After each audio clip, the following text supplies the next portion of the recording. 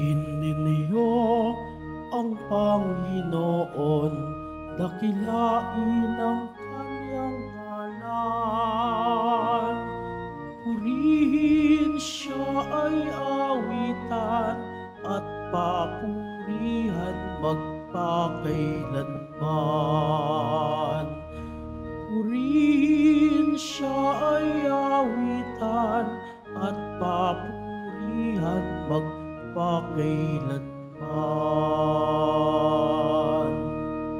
Sa ngalan ng Ama at ng Anak at ng Espiritu Santo, Amen. ang pagpapala ng ating Panginoong Yeso Kristo, ang pag-ibig ng Diyos Ama, at ang pakikipagkaisa ng Espiritu Santo, nawa ay sumainyong lahat.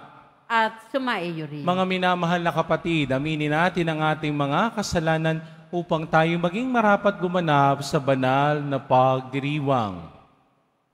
Inaamin ko sa makapangyarihang Diyos, At sa inyo, mga kapatid, nalubha akong nagkasala Sa isip, sa salita, at sa gawa, at sa aking pagkukulang. Kaya isinasamo ko sa mahal na Birheng Maria, sa lahat ng mga anghel at mga banal, at sa inyo, mga kapatid, na ako'y panalangin sa Panginoong ating Diyos. Kaawaan tayo ng makapangyarihang Diyos, patawarin tayo sa ating mga kasalanan, at patnubayan tayo sa buhay na walang hanggan. Amen. Panginoon, kaawaan mo kami. Panginoon, kaawaan mo kami. Kristo, kaawaan mo kami. Kristo, kaawaan mo kami. Panginoon, kaawaan mo kami. Panginoon, kaawaan mo kami. Papuri sa Diyos sa kaitaasan.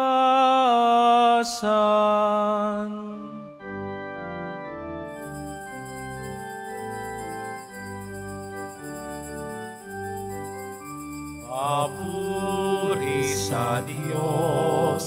Papuri sa Diyos, papuri sa Diyos sa kaitaasan, at sa lupa'y kapayapaan, at sa lupa'y kapayapaan, sa mga taong kinalulugtan niya.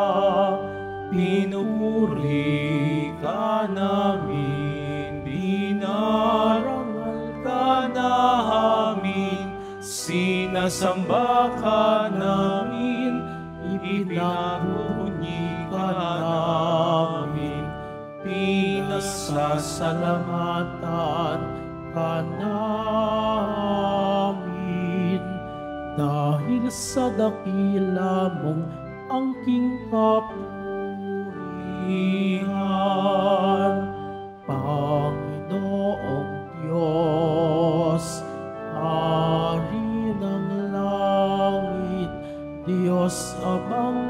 makapangyarihan sa lahat, Panginoong Yesu Kristo,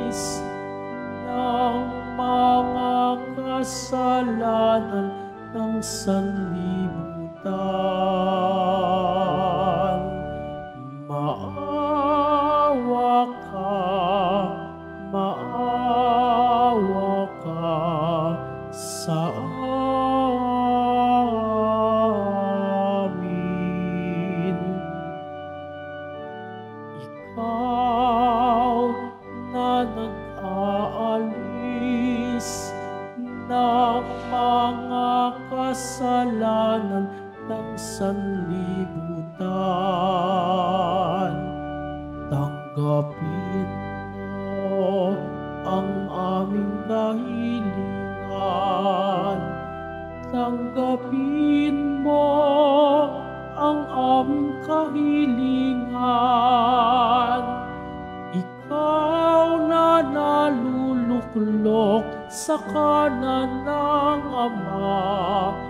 Maawa ka, maawa ka sa amin, sapagkat ikaw lamang ang banal at ang kataas-taasan. Ikaw lamang, O Yeso Kristo, ang Panginoon, kasama ng Espiritu Santo sa kadakilaan ng Diyos Ama. Amen. Ng Diyos Ama. Amen. Papuri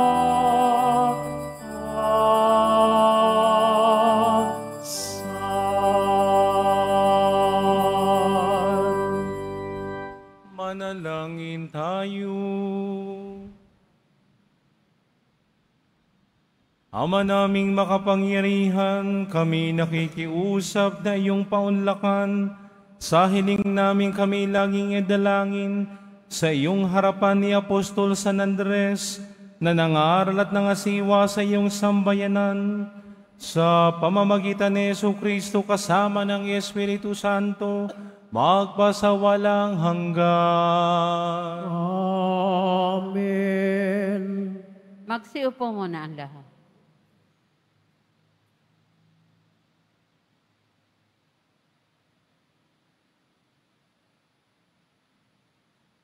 Pagbasa mula sa sulat ni Apostol San Pablo sa mga taga-Roma.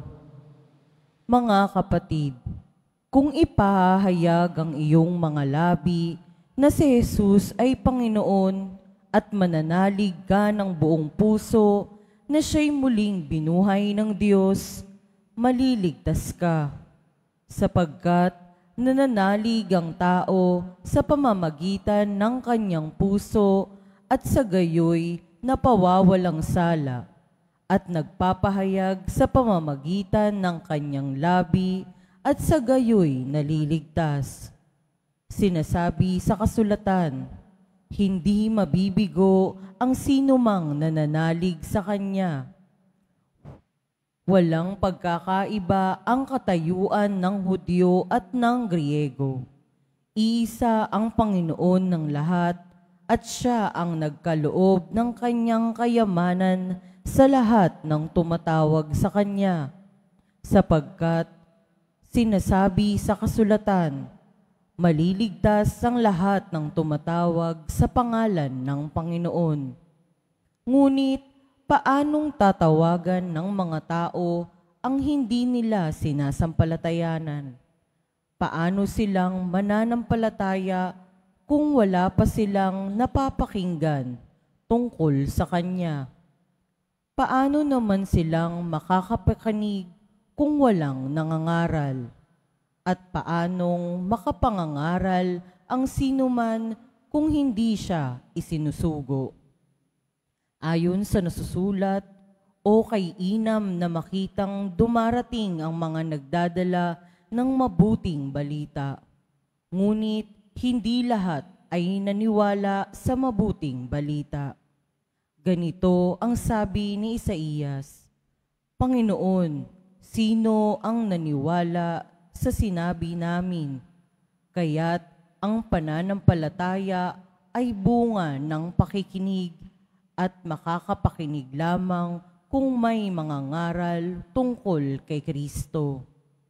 Ngunit ang tanong ko'y, hindi ba sila nakapakinig? Nakapakinig nga sila sapagkat abot sa lahat ng dako ang tinig nila at ang mga salita nila'y laganap sa sanlibutan. Ang salita ng Diyos, Salamat sa Diyos. Laganap na sa daigdig ang kanilang mga tinig. Laganap na sa daigdig ang kanilang mga tinig. Ang langit ay naghahayag na ang Diyos ay dakila. Malinaw na nagsasaad kung ano ang kanyang gawa. Bawat araw, bawat gabi, ang ulat ay walang patlang. Patuloy na naguulat sa sunod na gabit araw. Laganap na sa daigdig ang kanilang mga tinig. Walang tinig o salitang ginagamit kung sa bagay at wala ring naririnig na kahit na anong ingay. Gayunpaman, sa daigdig ay laganap yaong tinig. Ang balita'y umaabot sa duluhan ng daigdig. Laganap na sa daigdig ang kanilang mga tinig. Magsitayo po ang lahat.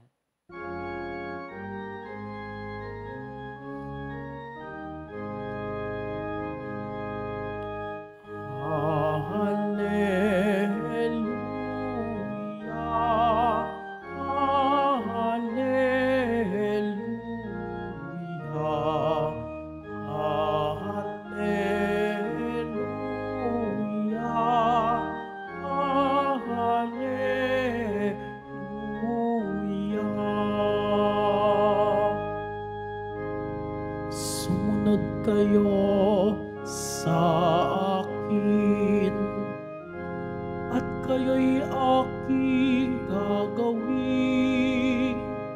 katambal ko sa tungkulin.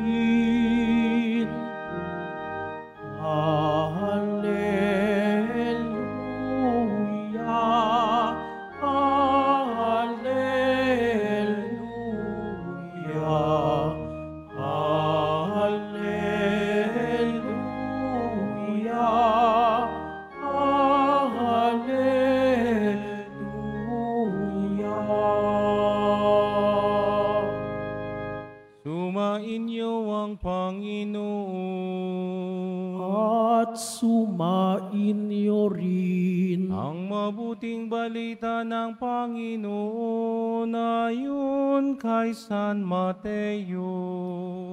Papuri sa iyo, Panginoon. Noong panong iyon sa paglalakad ni Jesus sa tabi ng lawa ng Galilea, nakita niya ang dalawang mangingisda, si Simon na tinatawag na Pedro at ang kapatid niyang si Andres. Sila'y naghahagis ng lambat, sinabi niya sa kanila, Sumunod kayo sa akin at gagawin ko kayong mamamalakaya ng mga tao. Noon din, iniwan nila ang kanilang mga lambat at sumunod kay Jesus. Nagpatuloy siya ng paglakad at nakita rin niya ang magkapatid na Santiago at Juan, mga anak ni Zebedeo. Sila ay nasa bangka kasama ang kanilang ama at naghahayuma ng lambat. Tinawag din nila si tinawag din sila ni Jesus agad nilang iniwan ang bangka at ang kanilang ama at sumunod kay Jesus. Ang mabuting balita ng Panginoon. Pinupuri ka namin, Panginoong Hesu Kristo. Magsiupo muna ang lahat. Magandang magandang umaga po sa inyong lahat. Ah, pakibati ang inyong katabi. Mahal ka ni Lord. Ayan. O, palakpakan natin ang Panginoon sa umagang ito. Taas natin ang natin dalawang kamay. Tayo magpapasalamat sa Diyos. Sabayan niyo ako. Poong Jesus Nazareno, maraming salamat po sa buwan ng Nobyembre. Salamat sa pagpapala, salamat sa mga biyaya. Sa pagpasok ng Disyembre, Poong Jesus Nazareno, samahan niyo po kami. Amen. Palakpakan natin ang Panginoon sa umagang ito. Ay sino ho dito nakakita na ng tulay, taas ng kamay? Tulay, yan. Pag wala eh, merong footbridge, doon ay may Quezon Bridge. Ano? Ano bang ginagawa ng tulay? Simple lang. Pinagduduktong niya ang magkalayong lugar. Dito, sa bandang kali- sa kanan ninyo, no, may footbridge diyan. Kaysa ikaw ay tumawid diyan sa mga sa lansangang iyan na nag, ang bibilis ng mga sasakyan, tatawid ka doon sa kabila na ikaw ay ligtas. Makakapunta ka doon sa kabilang lugar na hindi ka mahihirapan. Pinag-uugnay niya no, ang magkaibang lugar. Bakit ko ito nasabi sa inyo? Sapagkat yan ay kapistahan ni San Andres Apostol. Si San Andres Apostol ay ano, kapatid ni Pedro, no? At kung mababasa ninyo sa ibang uh, sa ibang uh, ebanghelyo, maki maririnig natin na ang unang tinawag ay hindi sino, hindi si Pedro. Ang nauna ay sino?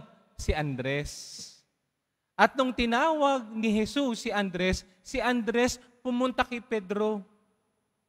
At sabi ni Andres, nakita ko ang Mesiyas. At nung malaman nito ni Pedro, sinamahan ni Andres si Pedro kay Jesus. Nakita natin no, na, si Ped, na si Andres ay naging tulay kay Pedro para makilala si Jesus. At sa ating mabuting balita ay nakita natin dito, no, na ang Panginoong Hesus tinawag sina Pedro, sina Simon at sina Andres, sina Santiago at Juan. At dito, no, gumawa, no, gumawa ang Panginoong Hesus ng isang magandang tulay. Bakit? Kung dati kayo'y nang huhuli ng isda ngayon naman, hindi na kayo manghuhuli ng isda. Gumagawa ngayon ng tulay ang Panginoong Hesus. Pumula sa isda, ang huhulihin nyo ni ano? Tao. Napakaganda. No? Sapagkat eh, ngayong kapistahan ni San Andres, ako at tayo'y pinapaalalahan ng maging tulay tayo ng Diyos. Amen? Sabi mo sa katabi mo yan. Tinan nyo katabi ninyo, natutulog na naman yan. Hmm. Sabi mo sa katabi mo, kapatid, laksan ninyo ulit, kapatid, maging tulay tayo ng Diyos. Amen? Totoo yan. Bakit baga tayo, ang, tayo ay nag-aaway-away bilang mga tao? Sapagkat hindi tayo nagiging tulay ng Diyos, nagiging tulay tayo ni Satanas. At si Satanas, ang gusto niya magkagulo-gulo tayo. Ang gusto ni Satanas, tayo ay magkawatak-watak. Gusto ni Satanas ng kaguluhan. Subalit ngayong kapistahan ni San Andres, tayo pinapaalalahanan, huwag akong maging tulay ni Satanas, kundi ako'y maging tulay ng Diyos. Napakaganda ng sinabi ni San Pablo sa ating unang pagbasa sa kanyang sulat sa mga taga-Roma, sabi niya ganito, paanong maniniwala ang tao kung hindi nila nalalaman kung sinong sasampalatayanan nila? At paano nila malalaman ang kanilang sinasampalatayanan kung walang mga ngaral? At walang mga ngaral kung hindi sila sinusugo. Bayo nga naman. Sapagkat sa ating kasaysayan ay makikita natin ang ating pananampalataya no, na meron tayo ngayon, yan ay bunga ng pagsaksi ng mga alagad ni Jesus. Nung ang Panginoong Jesus ay umakyat sa langit at pumanawag ang Espiritu Santo, ang mga apostol ay naging tulay ko at tulay natin upang nang sa ganon, makilala natin ang Panginoong Jesus. Amen? At yan ang pinapaalala ni San Pablo. Maging tulay lagi. Kung ang mga apostol ay naging tulay upang nang sa ganon, tayo ay manampalataya kay Jesus, gayon din naman tayo. Ano ang ano, ano ang kabaliktaran ng tulay?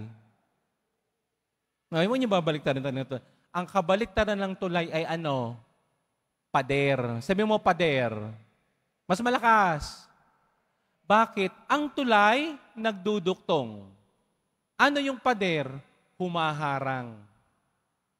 Tayo bilang mananampalataya, tayo bilang mga deboto ng Pong Jesus Nazareno, huwag tayong maging pader, kundi maging tulay tayo para mapalapit ang mga tao sa Diyos. At yan ang magandang tinuturo sa ating mabuting balita. Bakit? Si Jesus naging tulay ng Diyos Ama para nang sa ganon may makatulong siya sa pangangaral ng mabuting balita. Kaya nga tinawag niya sina Pedro, sina Andres, sina Santiago, at si Juan. At sila ay ano? Sila ay ginawang ano? Hindi lang basta mangingisda, kundi sila ay ano na, manghuhuli na sila ng tao. Para nang sa ganon, mapalapit sila sa Diyos Ama. At yan ang magandang makikilala natin, makikita sa buhay ni San Andres Apostol. Sinasabi sa banal na tradisyon na si San Andres ay naging martir sa Patras. Asan yung Patras? Sa bansang Gresya or Greece. At sinasabi no, na siya ay ipinako sa krus pero hindi basta krus. Ganito yun, oh, yung ganyan, yung X, no? Ang tawag dyan ay crux de cusata. At sinasabing kaya si Saint Andrew ay ipinako in a cross like that, yung X.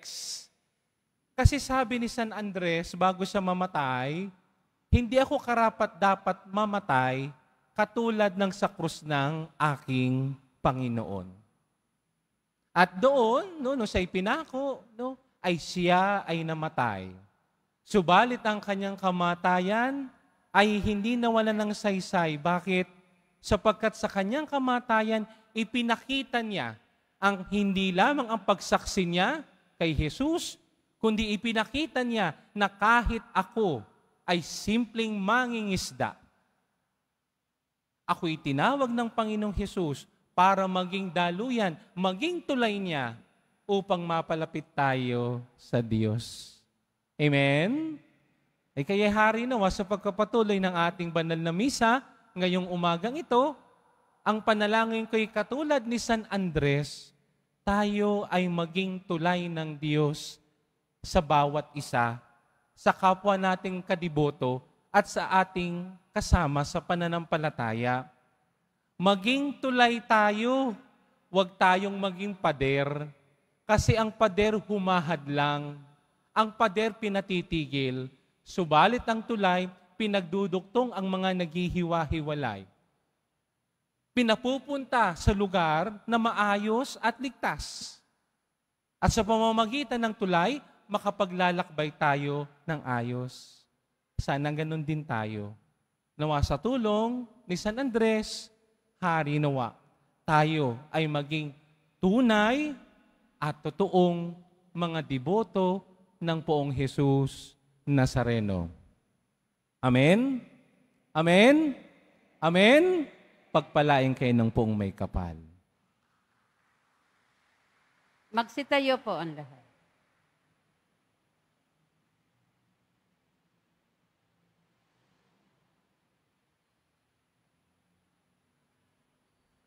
Mga minamahal kong mga kapatid, ihabilin natin ang ating mga kahilingan sa pangangalaga ng Diyos Ama kasama ng mga panalangin ni San Andres. Panginoon, pagpalain mo ang iyong bayan na hinubog sa pananampalataya ng mga apostol. Panginoon, pagpalain mo ang iyong bayan na hinubog sa pananampalataya ng mga apostol. ang ating mga pari na tinawag ng Diyos upang mamalakayan ng mga tao naway humarap sa hamon ng pagbabago sa pamagitan ng pangangaral ng Ebanghelyo. Manalangin tayo. Panginoon, pagpalain mo ang iyong bayan na hinubog sa pananampalataya ng mga apostol. Ang mga misyonero naway maging mabibisang tagapagpahayag ng Ebanghelyo sa pamagitan ng patotoo ng kanilang buhay. Manalangin tayo. Panginoon, pagpalain mo ang iyong bayan na hinubog sa pananampalataya ng mga apostol. Ang mga tinawag ng ating Panginoon upang maglingkod sa Kanya, naway bukas loob na tumugon sa Kanyang panawagan, manalangin tayo. Panginoon, pagpalain mo ang iyong bayan na hinubog sa pananampalataya ng mga apostol. Ang mga may sakit, mga nagdadalamhati, mga naliligalig at ang mga nagdurusa sa karamdaman ng isip at katawan, naway hipuin ng Panginoon. Manalangin tayo.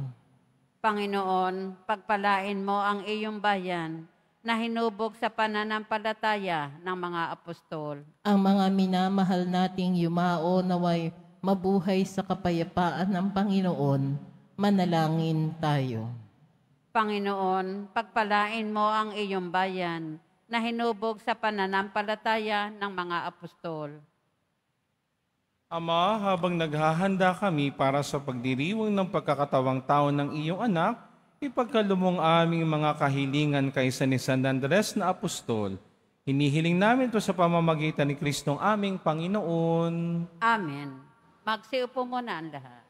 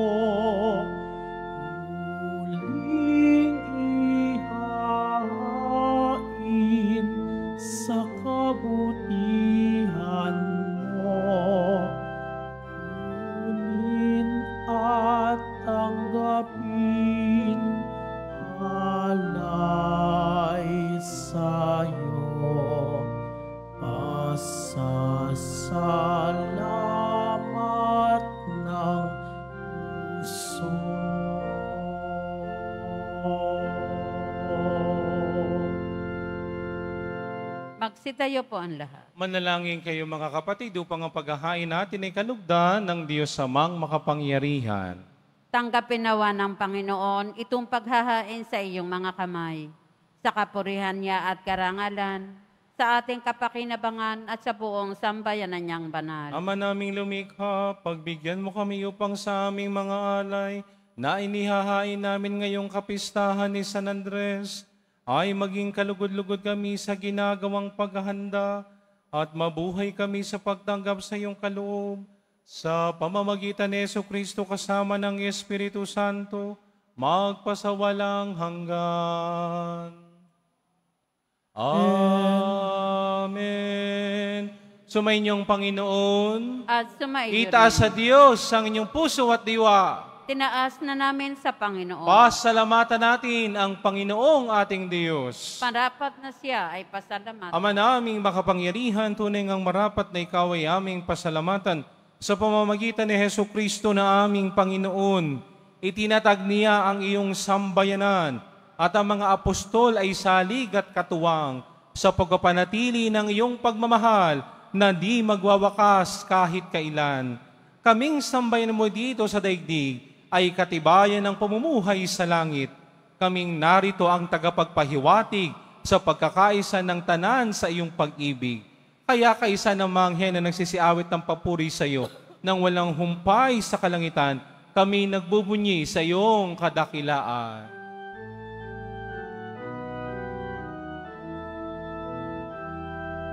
Santo, Santo, Santo, Panginoong Diyos ng mga hukbo, napupuno ang langit at lupa ng kadakilaan mo. Hosana, Hosana, Hosana sa kaitaasan. Hosana, Hosana, Hosana sa kaitaasan. Pinagpala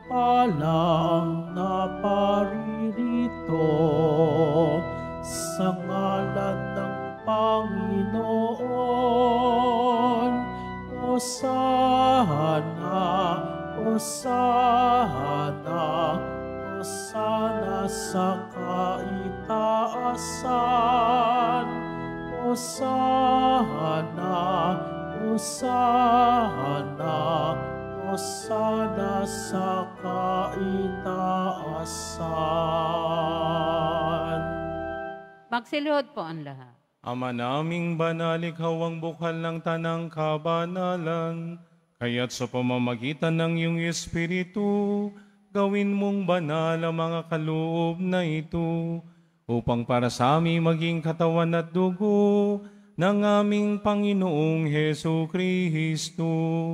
Bago niya pinagtiis ang kusang loob na maging handog, hinawakan niya ang tinapay, pinasalamatan kaniya, pinaghati-hati niya yun, iniabot sa kanyang mga alagad at sinabi, Tanggapin ninyong lahat ito at kanin, ito ang aking katawan na ihahandog para sa inyo.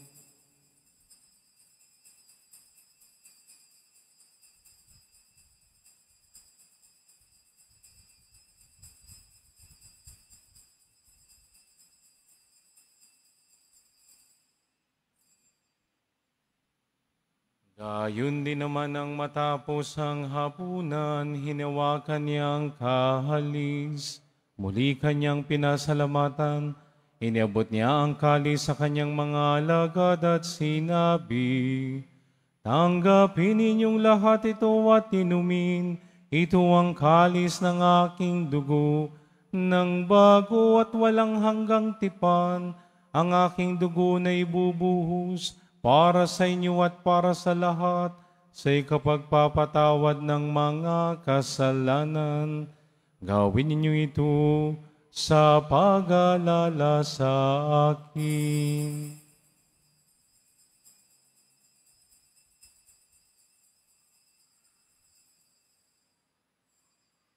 Magsitayo po ang lahat. Ipagbunyi natin ang misteryo ng pananampalataya. Si Kristo'y namatay, si si Kri- Kristo'y nabuhay, si Kristo'y babalik sa wakas ng panahon. Ang ginagawa namin ngayon, ang pag-alaala sa pagkamatay at muling pagkabuhay ng iyong anak, kaya tiniaalay namin sa iyo ang tinapay na nagbibigay buhay at ang kalis na nakakalob ng kaligtasan. Kami nagpapasalamat dahil kami iyong minarapat at tumayo sa harap mo para maglingkod sa iyo. E sinasamo namin kami magsasalo-salo sa katawan at dugo ni Kristo ay mabuklot sa pagkakaisa sa pamamagitan ng Espiritu Santo. Amalingapin mo ang iyong simbahang laganap sa buong digdig. Puspusin mo kami sa pag-ibig kay San Francisco na aming Papa at ni Jose naming Obispo ng Tanang Kaparian. Alalahanin mo rin mga kapatid naming nahimlay na may pag-aasang sila'y muling mabubuhay, gayon din na lahat ng mga pumanaw.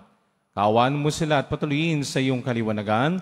Kawan at pagindapatin kaming lahat na makasalo sa iyong buhay na walang wakas, kaisa ng mahal na Biring Maria na ina ng Diyos, ang kanyang kabiyak na pusong si San Jose, kaysa ng mga apostol at ng lahat ng mga banal na namuhay dito sa daigdig ng kalugod-lugod sa iyo, maipagdiwang nawa namin na pagkupuri sa ikararangal mo sa pamamagitan ng anak na aming Panginoong Heso Kristo.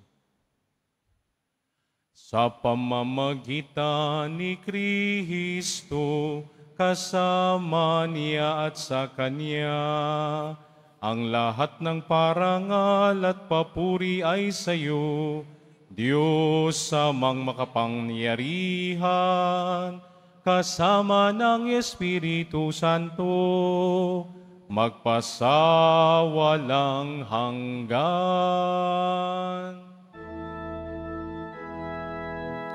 Amen. Amen.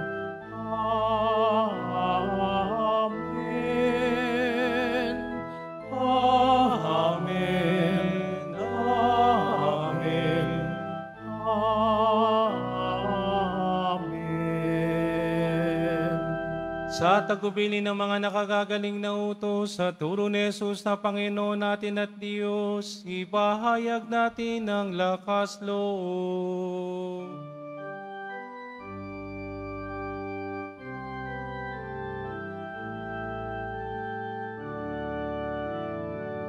Sabay-sabay tayong aawit.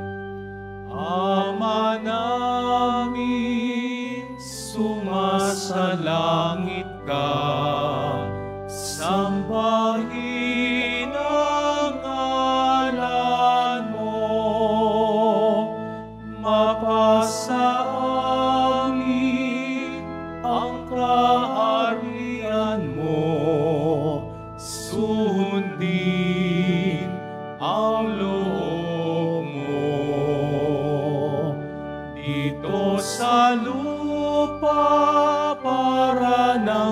ng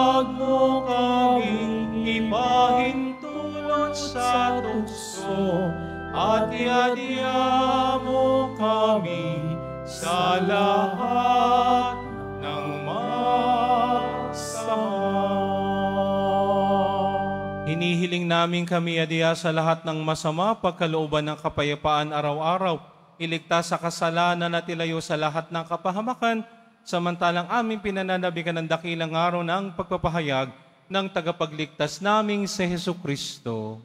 sapagkat iyo ang kaharian at ang kapangyarihan at ang kapurihan magpakailanman. Amen. Panginoong Yeso Kristo, sinabi mo sa iyong mga apostol, kapayapaan ang iniiwan ko sa inyo. Ang aking kapayapaan ang ibinibigay ko sa inyo.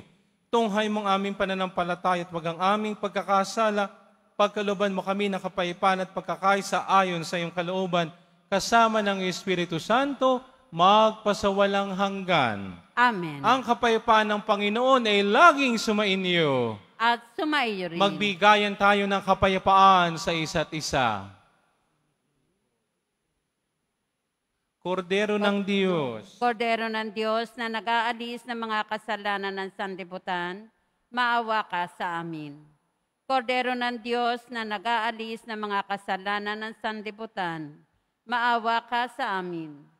Kordero ng Diyos na nag-aalis ng mga kasalanan ng sanlibutan, ipagkaloob mo sa amin ang kapayapaan. Magsiluhod po ang lahat. ito ang kordero ng Diyos. Ito ay nag-alis sa mga kasalanan ng sanlibutan.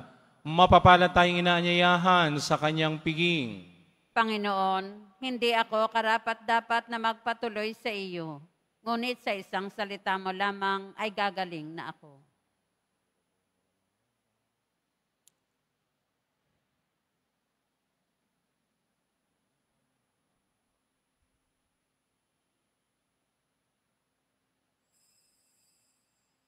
Para sa lahat ng tatanggap ng banal na komunyon, sasagot po tayo ng amin pagkasabi ng pari o ng lay minister ng katawan ni Kristo at isubo agad sa bibig bago umalis sa harapan ng pari o lay minister. Sumunod po tayo. Gustate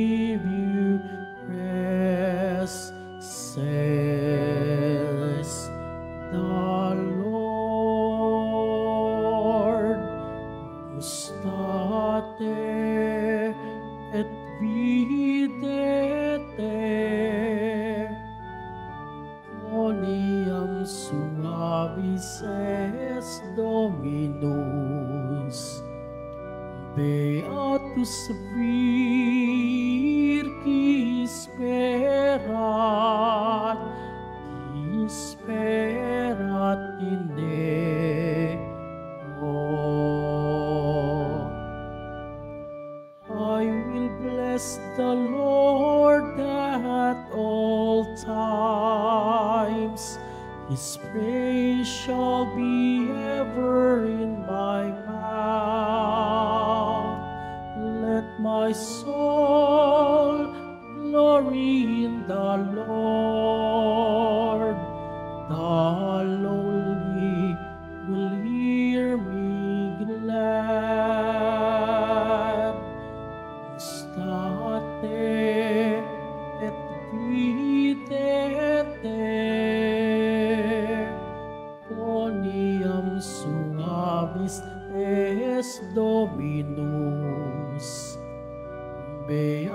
subir.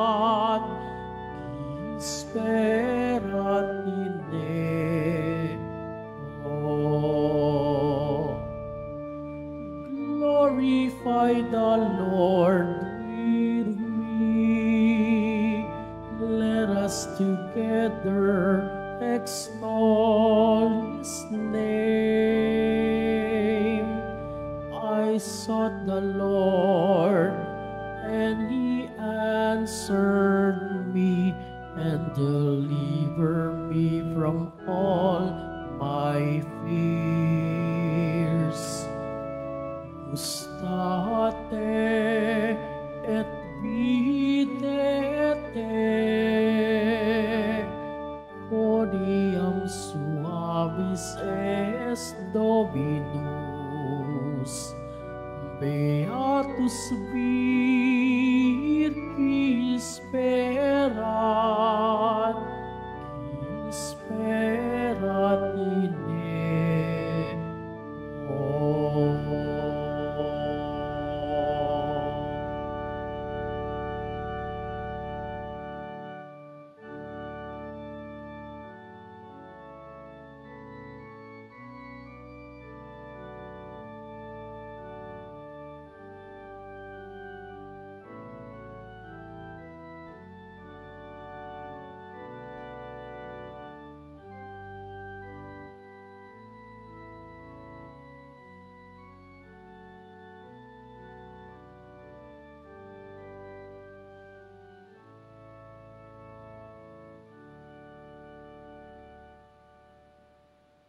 Announcement. Inihahandog po ng programang Homeless Home Base Plus ang mga kwento ng himala ng Pong Jesus Nazareno.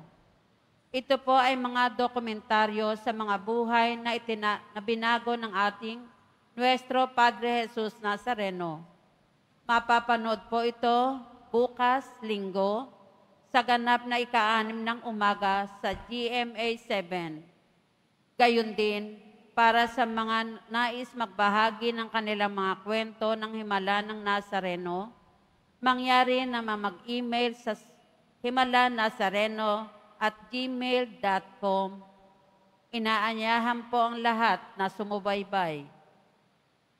Available na po ang opisyal na kalendaryo para sa taong 2025 ng ating parokya Sa mga nagnanais bumili, maaari kayo magtungo sa ating Paris office.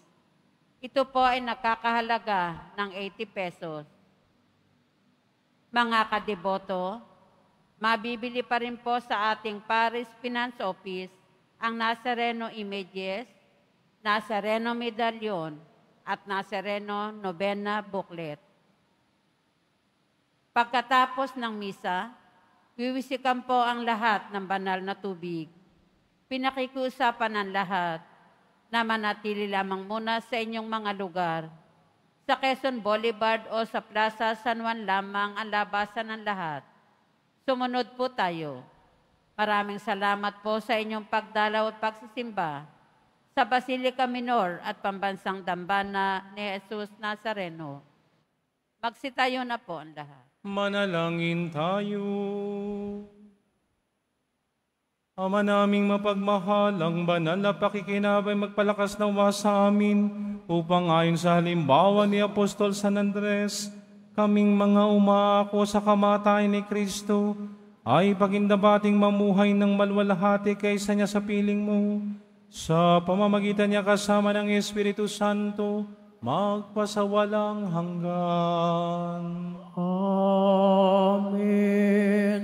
Mga kapatid, dating ipagdasal ang ating mga minamahal na yumaod ng lahat ng mga kaluluwa sa purgatorio. Panginoon naming Diyos, Ama namin, Ikaw po ang dahilan ng aming pagsilang. Sa iyo galing ang aming hiram na buhay. Buong kababaang loob po kaming nananalangit kami nagmamakaawang kalugdan mo po ang mga kaluluwa ng mga pumanaw na sa mundong ito. Sila naway magkamit ng buhay sa iyong piling. Alisin mo anumang mga karumihan ng kasalanan upang sila'y maging marapat sa iyong walang hanggang kalinisan. Iyaon mo sila mula sa purgatorio at bigyan ng puwang sa iyong kaharian. Kapayapaan kailanman ang igawad ng may kapal sa mga yumaong nagsipanaw. Sila naway silaya ng iyong ilaw na walang hanggan. Amen. Mapanatag nawa sila sa kapayapaan. Amen.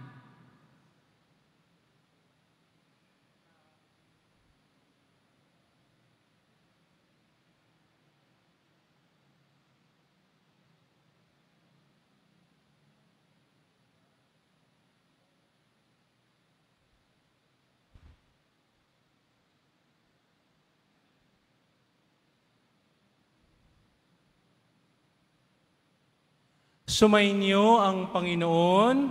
At sumaiyo rin. Itaas ang inyong mga kamay at magsiyuko para sa pagbabasbas. Mahal na poong Jesus Nazareno, inihayag mo sa pamamagitan ng krus ang walang malinaw pag-ibig ng Diyos sa sangkatauhan. Pakinggan mo ang kahilingan ng iyong angkan na nagsusumamo sa iyo. Makamtanawan nila ang iyong katugon at tanggapin ang kasagutan na may utang na loob na tinatanaw. Basbasan din po ninyo ang mga daladala nilang mga imahen at dasalan. Sa pamamagitan ng bendisyon na ito na maalaala nila ang mga pangako nila noon sa binyag na ikaw ay aming iibigan at paglilingkuran bilang Panginoon magpasawalang hanggan. Amen. Pagpalain kayo ng makapangyarihang Diyos, Ama at Anak at Espiritu Santo. Amen. Humayo kayong taglay ang kapayapaan ng pong Jesus Nazareno. Salamat sa Diyos. Viva nuestro Padre Jesus Nazareno! Viva!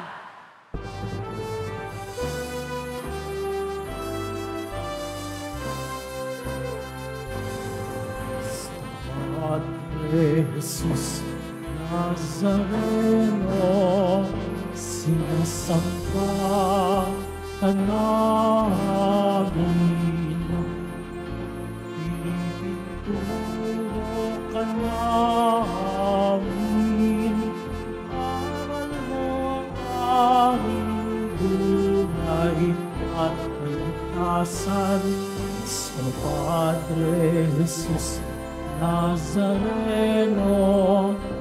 Iligtas mo kami sa kasalanan. Ang mismong pinamatayahan ay Sagisag ng aming kaligtasan.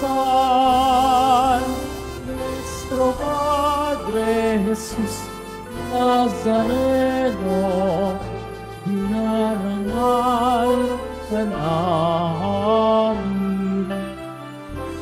Nuestro Padre Jesus Nazareno, Iluluwalhati sa namin.